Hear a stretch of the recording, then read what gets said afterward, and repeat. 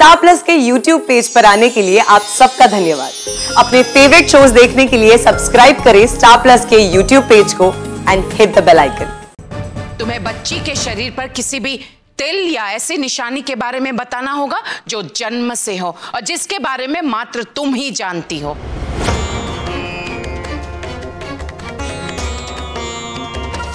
क्या ऐसी कोई निशानी या तिल है? बताओ।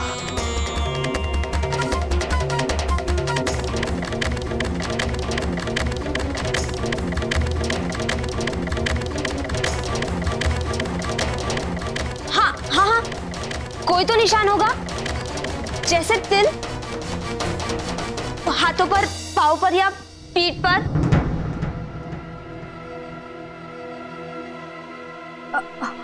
हाँ हाँ है ना? इसके पीठ पर तिल है।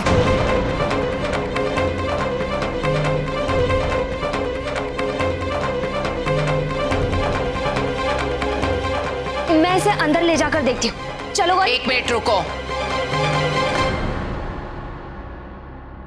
जिग्ना तुम और गोपी। तुम दोनों भी जाओगी।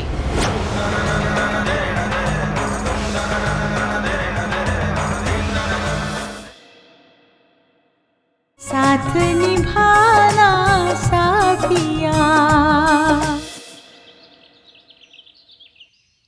धवल जी चाय।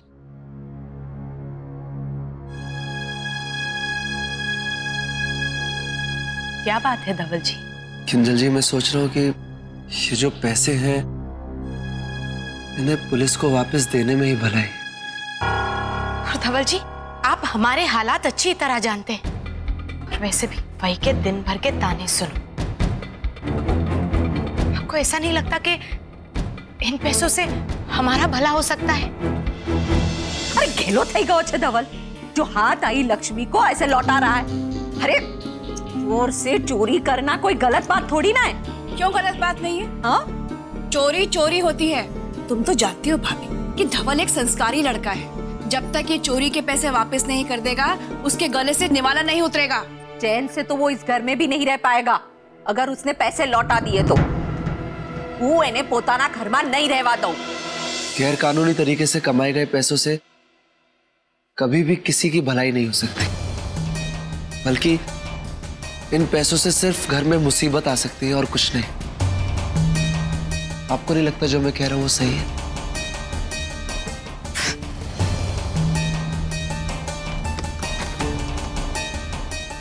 ये क्या कर रही है किंजल जी आप?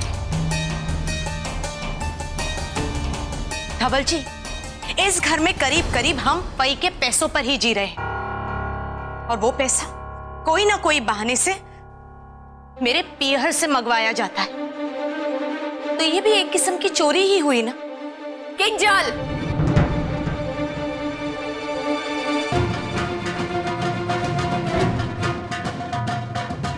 ये बकवास करने की तेरी हिम्मत कैसे हुई किंजल गलत क्या कहा मैंने? सही कहा ना? ये जो आज आपकी इतनी प्रॉपर्टी है और ये जो आपकी ठाट बाट है ना, फई, ये मेरे पीहर के पैसों से ही है। खबरदार!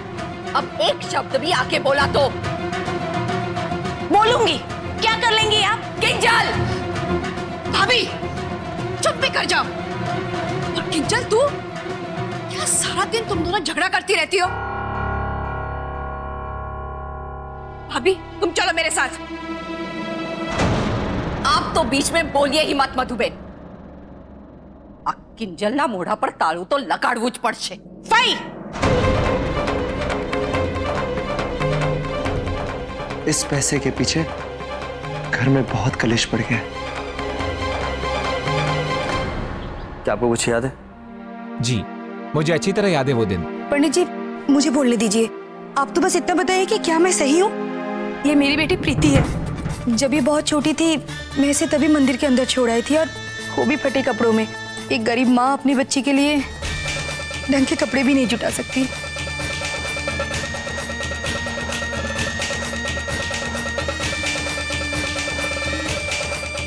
पंडित ये औरत क्या सच कह रही है? आ,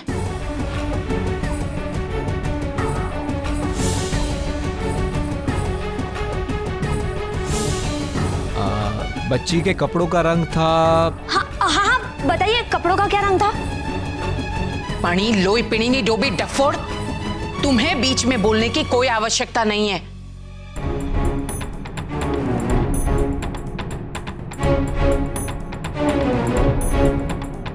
गंदे कपड़ों का रंग मैं कैसे बताऊँ? शायद सफ़ेद और लाल में था। पंडित जी ये जो कह रही है क्या वो सच है? जी हाँ ये ठीक कह रही हैं। मुझे तो लगता है बच्ची की माँ यही है।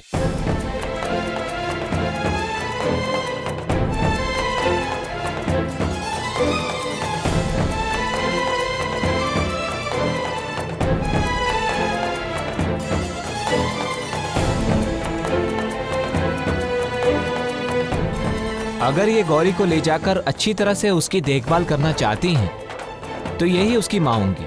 वरना आज के वक्त में कौन एक अनजाने बच्चे का बोझ अपने सर पे लेना चाहेगा? वरना आजकल तो लोग बच्चों को लाकर मंदिर की सीढ़ियों पर छोड़ जाते हैं और फिर वापस पलटकर देखते भी नहीं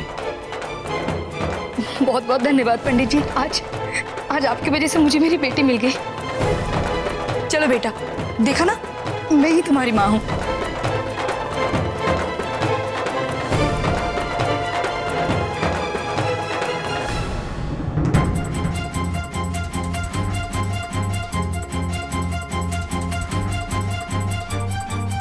चलो।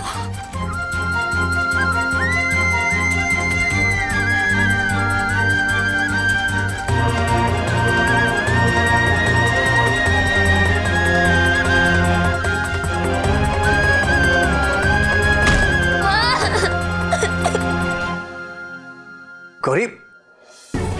गौरी बेटा इधर बैठो बैठो यहाँ। गौरी गौरी रोना बंद करो, ठीक हो जाएगा बेटा। मीठी बहन, जल्दी जाइए फ़र्स्ट एड बॉक्स लेकर आइए।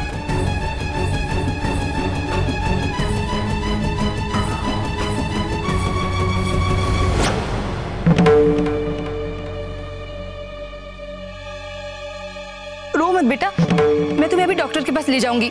तुम जल्दी ठीक हो जाओगी।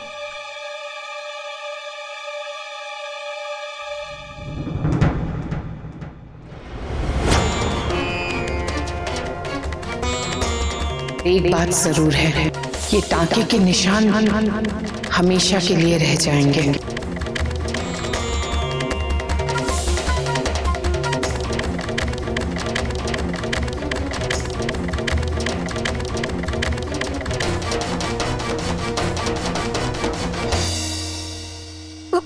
मेरा दुपट्टा, गोपी, आपको कुछ और चाहिए क्या?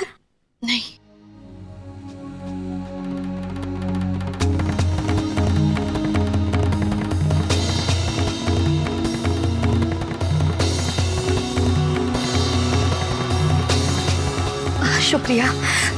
अब मैं अपनी बेटी को ले जा सकती हूँ। चलो बेटा। रुको।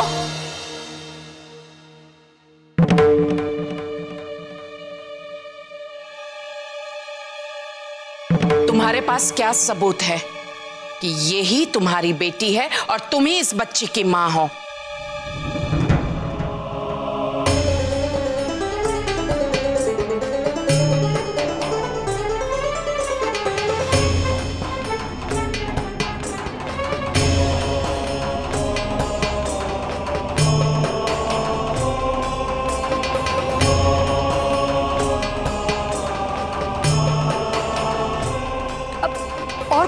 दूँ मैं। मैंने पंडित जी को सारी बातें बताई और इन्होंने भी कहा कि मैं इसकी माँ हूँ। सिर्फ़ पंडित जी के अनुमान के भरोसे मैं गौरी को यहाँ से ले जाने नहीं दे सकती। मुझे सबूत चाहिए। कोई ऐसा सबूत बताओ जिससे साबित हो ये तुम्हारी बेटी है।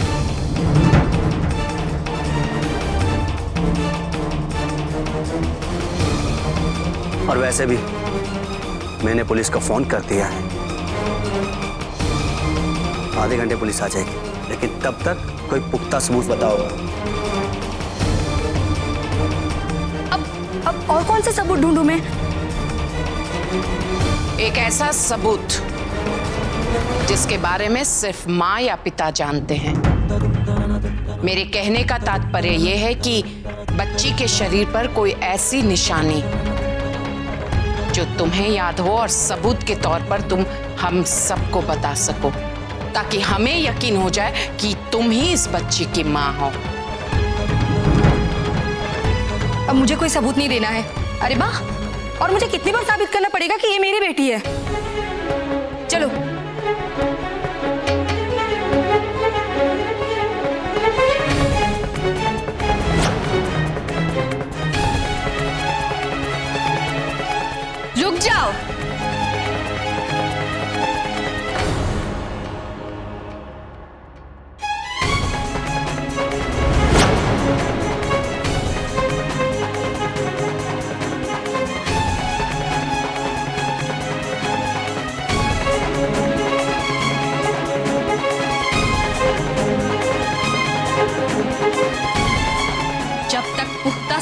हमें नहीं दोगी कि गौरी तुम्हारी बेटी है, तब तक गौरी को यहाँ से नहीं ले जा सकते।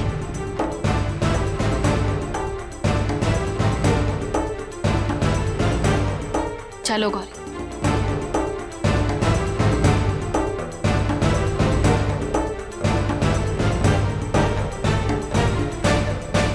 बिल्कुल सही।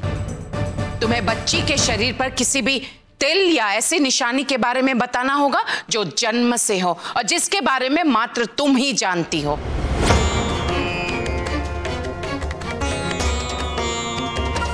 क्या ऐसी कोई निशानी या तिल है?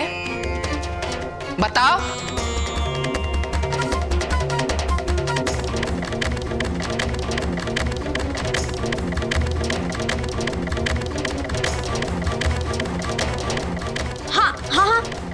कोई तो निशान होगा। जैसे तिल। हाथों पर, पाँव पर या पीठ पर।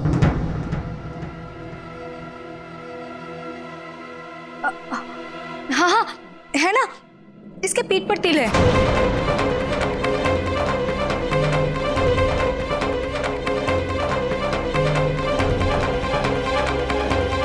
मैं इसे अंदर ले जाकर देखती हूँ। चलो एक मिनट रुको। जिग्ना तुम और गोपी। तुम दोनों भी जाओगे।